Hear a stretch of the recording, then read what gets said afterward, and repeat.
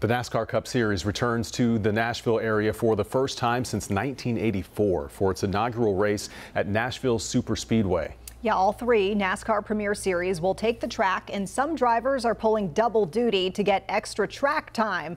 And WCNC Charlotte's Ashley Stroehlein spoke to one of those drivers.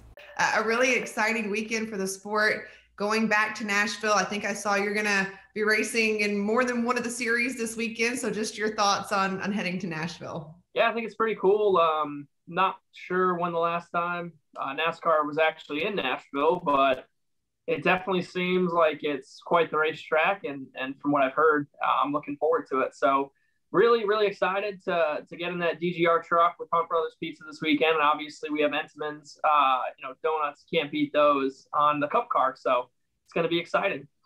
And then for you know for any driver kind of going to a track that the sport hasn't been at in a really long time or or a new track to be able to get a little extra practice and to get out on the track in you know the, like you're doing in the truck race to prepare for the cup race how does that kind of help you out? You also get practice and qualifying so kind of a normal weekend for you.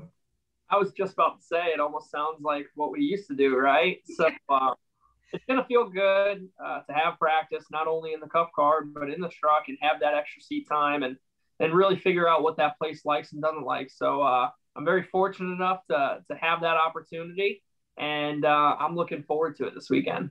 Uh, okay and i was scrolling your instagram. I was like let me see what he's been posting. What's been going on? Can we talk about your last post on instagram? Are you just wore out from everything that you're doing?